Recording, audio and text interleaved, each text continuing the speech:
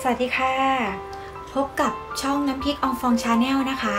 วันนี้นะคะก็มีข่าวดีมาบอกค่ะว่าทางเกาหลีใต้มีข่าวออกมาเป็นประกาศนะคะ ซึ่งยังไม่เป็นทางการ ในเนื้อหาข่าวบอกถึงเรื่องการเปิดระบบ Travel Bubble นะคะ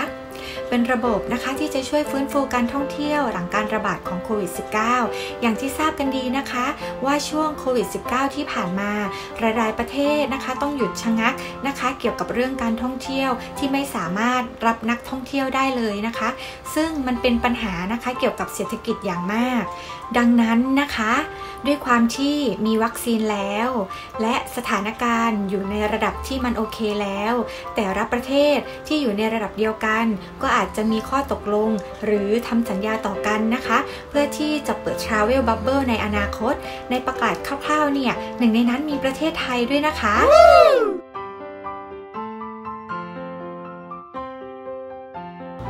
ถือได้ว่าเป็นข่าวดีข่าวหนึ่งเลยค่ะ ใครนะคะที่กำลังเตรียมตัวที่จะเดินทางเข้ามาประเทศเกาหลีใต้นะคะ แบบฟรีวีซ่านะคะ จะต้องเตรียมตัวอะไรบ้าง ซึ่งหนึ่งในข้อกำหนดนะคะที่มีข่าวออกมา ทุกคนนะคะจะต้องได้รับการฉีดวัคซีนก่อนค่ะ Travel Bubble นะคะ เป็นศัพท์ใหม่ที่ถูกบัญญัติขึ้นในช่วงโควิด -19 เป็นการจับคู่ด้านการท่องเที่ยวของกลุ่มประเทศที่มีความมั่นใจในความปลอดภัยของโรคโควิด -19 โดยจะมีการตกลงกันนะคะ ระหว่างรัฐบาลของแต่ละประเทศในการให้สิทธิพิเศษของการเดินทางเข้าออกระหว่างกันนะคะ ได้โดยไม่จำเป็นต้องมีการกักตัว 14 วันค่ะ แต่ต้องอยู่ภายใต้เงื่อนไขมาตรการป้องกันนะคะ ของโควิด -19 อย่างเข้มข้นค่ะ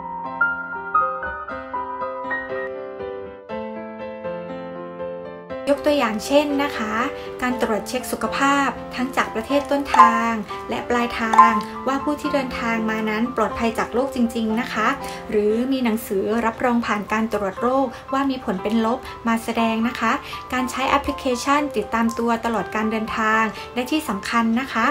ต้องสวมใส่หน้ากากอนามัยนะคะ ตลอดการเดินทางทั้งนี้เพื่อความปลอดภัย และเป็นไปตามมาตรการป้องกันโรคโควิด -19 ด้วยวิธีการที่แต่ละคู่ประเทศจะตกลงกันค่ะ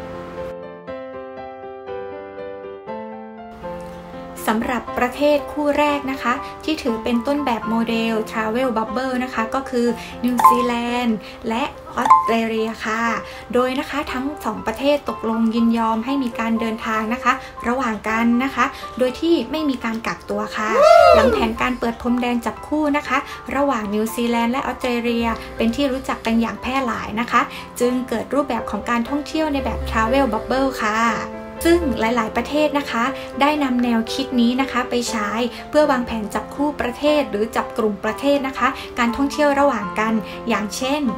นี่คือตัวอย่างของหลายประเทศที่เริ่มทยอยนะคะ เปิด Travel Bubble ซึ่งนอกจากนี้ก็ยังมีอีกหลายประเทศที่กำลังพิจารณานะคะ การเปิดการท่องเที่ยวในรูปแบบใหม่นี้ รวมถึงประเทศไทยเราด้วยค่ะ เกาหลีใต้เล็งเปิดท่องเที่ยวแบบจับคู่ประเทศ Travel Bubble กับไทยนะคะ และอีกหลายประเทศโดยไม่ต้องกักตัวนักท่องเที่ยวทั้งสองฝ่ายที่ฉีดวัคซีนครบโดสแล้วค่ะ สำนักข่าวของเกาหลีใต้นะคะ ได้รายงานเมื่อวันที่ 9 มิถุนายนนะคะว่า รัฐบาลเกาหลีใต้กำลังเร่งนะคะ เจรจาเปิด Travel Bubble กับไทยนะคะ และอีกหลายประเทศนะคะ คือสิงคโปร์ไต้หวัน เกาะกวม และเกาะไซปันนะคะของสหรัฐ โดยไม่ต้องกักตัวค่ะ นักท่องเที่ยวสำหรับกลุ่มคนที่ฉีดวัคซีนครบโดสแล้วนะคะ และคาดหวังว่าจะสามารถเริ่มได้นะคะ ตั้งแต่เดือนกรกฎาคมนี้ค่ะ กระทรวงคมนาคมของเกาหลีใต้เปิดเผยว่าในขั้นแรกของการทำ Travel Bubble นะคะ เบื้องต้นเปิดโอกาสให้นักท่องเที่ยวต่างชาติ และชาวเกาหลีใต้ที่ได้รับการฉีดวัคซีนป้องกันโควิด -19 ครบโดสเข็ม 2 แล้วนะคะ มีการเดินทางเป็นกรุ๊ปนะคะ และจะอนุญาตเฉพาะกรุ๊ปทัวร์หรือแพ็กเกจทัวร์เท่านั้นค่ะ โดยจะเริ่มจากการอนุญาตให้มีเที่ยวบินได้ 1-2 เที่ยวต่อสัปดาห์ มีผู้โดยสารได้ไม่เกิน 200 คนนะคะ และขณะนี้รัฐบาลเกาหลีใต้ได้อนุญาตให้ชาวเกาหลีใต้ที่ฉีดวัคซีนครบโดสแล้ว สามารถเดินทางไปต่างประเทศนะคะ และเดินทางกลับเข้าประเทศได้โดยไม่ต้องกักตัวแล้วค่ะ และก็จะมอบสิทธิพิเศษนี้ให้แก่นักท่องเที่ยวชาวต่างชาติเช่นกันค่ะ ไม่ว่าจะเป็นคนสัญชาติใดนะคะ ที่เดินทางมาจากต่างประเทศที่จับคู่ Travel Bubble หากฉีดวัคซีนครบโดสแล้วค่ะ แต่นะคะมีเงื่อนไขว่านักท่องเที่ยวที่มาจากประเทศที่จับคู่ทราเวลนะคะบับเบิลกับเกาหลีใต้เนี่ยจะต้องมีผลตรวจเชื้อโควิด -19 นะคะ เป็นลบนะคะภายใน 3 วันก่อนเดินทาง และจะต้องอยู่ในเกาหลีใต้ หรืออยู่ประเทศที่จับคู่ Travel Bubble นะคะ เป็นเวลา 2 สัปดาห์ก่อนเดินทางค่ะ และเมื่อเดินทางไปถึงประเทศเป้าหมาย ก็จะต้องรับการตรวจเชื้อโควิดซ้ำอีกครั้งด้วยนะคะ นอกจากนี้นะคะ นักท่องเที่ยวที่จะต้องปฏิบัติตามแผนการเดินทางของบริษัททัวร์และห้ามนะคะ ออกนอกเส้นทางอย่างเคร่งครัดเลยค่ะ และในขั้นนี้นะคะ ยังไม่อนุญาตให้นักท่องเที่ยวเดินทางท่องเที่ยวได้อย่างอิสระค่ะ ทั้งนี้นะคะ เกาหลีใต้ตั้งเป้าจะบรรลุภูมิคุ้มกันหมู่นะคะ ภายในเดือนพฤศจิกายนนี้ โดยล่าสุดนะคะเมื่อ 9 มิถุนายน ชาวเกาหลีใต้นะคะราวๆ 9.2 ล้านคนหรือคิดเป็นเปอร์เซ็นต์เท่ากับ 17.9%นะคะของประชากรทั้งหมด ได้รับวัคซีนป้องกันโควิด -19 โดสแรกแล้วนะคะ รัฐบาลพยายามเร่งโครงการฉีดวัคซีน โดยสร้างแรงจูงใจต่าง เช่น อนุญาตนะคะให้ผู้ที่ได้รับวัคซีนอย่างน้อย 1 โดส สามารถออกไปเดินเล่นนอกบ้านได้ค่ะ โดยไม่สวมหน้ากากอนามัย และมีการพบปะครอบครัวนะคะ กลุ่มใหญ่ขึ้นได้ตั้งแต่เดือนกรกฎาคมเป็นต้นไปค่ะ พร้อมแจกบัตรเข้าชมฟรีด้วยนะคะ ที่พระราชวังและส่วนลดสำหรับตั๋วเข้าชมการแสดงต่างๆ ส่วนผู้ที่ได้รับวัคซีนนะคะ ครบ 2 โดสแล้วนะคะ จะได้รับการยกเว้นนะคะ ห้ามชุมนุมเกิน 4 คน ตามมาตรการปัจจุบันตั้งแต่เดือนกรกฎาคมเป็นต้นไปเช่นกันค่ะ ทั้งนี้นะคะเกาหลีใต้ตั้งเป้าจะฉีดวัคซีนโดสแรกนะคะ ให้ประชาชนกว่า 36 ล้านคนหรือ 70%นะคะของประชากรทั้งหมดให้ได้ภายในเดือนพฤศจิกายนนี้ค่ะ เพื่อนะคะสร้างภูมิคุ้มกันหมู่ให้ผู้คนกลับมาใช้ชีวิตได้ตามปกติโดยเร็วค่ะ และการเร่งเปิดทาวเวลบับเบิลนี้ ก็เป็นอีกส่วนหนึ่งของการพยายามนะคะ เริ่มกลับคืนสู่ความเป็นปกติค่ะ สำหรับนะคะใครที่กำลังเฝ้ารอ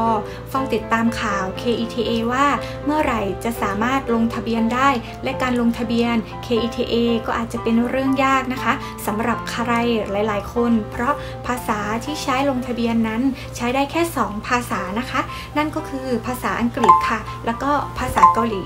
และก็ขอบคุณ FC ของช่องน้ำพริกอองฟอง Channel นะคะ ที่น่ารักมากที่ได้ให้ข้อมูลเพิ่มเติมมานะคะสำหรับการลงทะเบียนเกี่ยวกับ K-ETA ว่าแฟน FC ของช่องน้ำพริกอองฟอง Channel นะคะ ซึ่งเป็นคนเกาหลีโดยตรงได้โทรเข้าไปสอบถามกับเจ้าหน้าที่ทางศูนย์ตมนะคะ ว่าประเทศไทยมีกี่เปอร์เซ็นต์นะคะ ที่จะสามารถลงทะเบียน KETA ได้ ซึ่งจากคำตอบที่ได้รับนั้นนะคะ เจ้าหน้าที่ศูนย์ตมได้แจ้งกลับมาว่า ไม่ได้เปิดให้ลงทะเบียนแล้วนะคะ แต่จะเปิดให้สำหรับ businessmen นะคะ เท่านั้น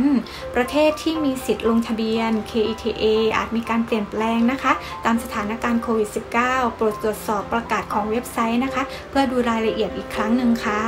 เพราะฉะนั้นนะคะ Travel Bubble จะเป็นอีกหนึ่งทางเลือกเมื่อเกาหลีใต้และประเทศไทย ได้เร่งหารือพูดคุยนะคะ และทำสัญญาจับคู่กันในการเปิดประเทศให้เข้ามาท่องเที่ยวนะคะ แบบฟรีวีซ่า ถ้าเป็นไปตามที่คาดหมายก็จะสามารถท่องเที่ยวระหว่างประเทศที่ตกลงกันได้ อย่างเร็วที่สุดนะคะ ภายในเดือนกรกฎาคมนี้ค่ะ ถ้ามีข่าวอัปเดตนะคะ ทางช่องน้ำพริกอองฟอง Channel จะรีบนำข่าวนะคะ มาแจ้งให้ทุกคนได้ทราบกันค่ะ กดติดตามนะคะ กดกระดิ่งแจ้งเตือน เพื่อที่จะได้ไม่พลาดคลิปดีๆจากน้ำพริกอองฟองชาแนลกันค่ะทุกคนสำหรับคลิปนี้นะคะ ก็ลาไปก่อนแล้วค่ะ บ๊ายบาย